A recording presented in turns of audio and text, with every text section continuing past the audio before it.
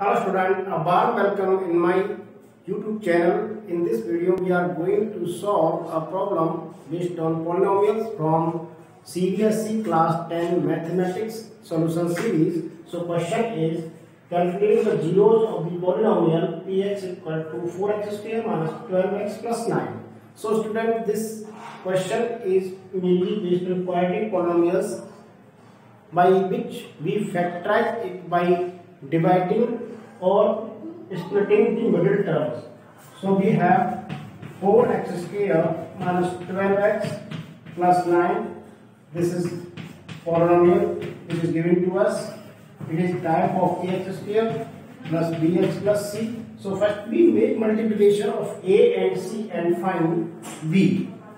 So here a is 4 and c is 9 so 4 into 9 we got 36 and 36 can be obtained by other multiplications like 9 uh, 4 is 36 9 4 is 36 9 can be 3 into 3 and 2 into 2 so this 3 into 2 becomes 6 and this 3 into 2 becomes 6 so 6 is 6 6 we can write it as minus 6 into minus 6. When we add these, we got minus 12. When we add minus 6 and minus 6, we got 12. Therefore, 4x square minus 12x plus 9 can be written as 4x square minus 6x minus 6x plus 9. So 12x is split in two parts minus 6x minus 6x Okay. Now we make two pair and factorize it. This is 2x common from here.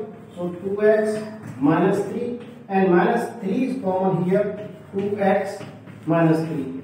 So 2x minus 3 is common in both two steps. Therefore 2x minus 3, 2x minus 3 or can become whole square of 2x minus 3. Now if we want to find out zeros of this quadratic polynomial, then we put it equal to 0, 2x minus 3, 2x minus 3 equal to 0. So 2x minus 3 equal to 0 and x equal to 3 by 2.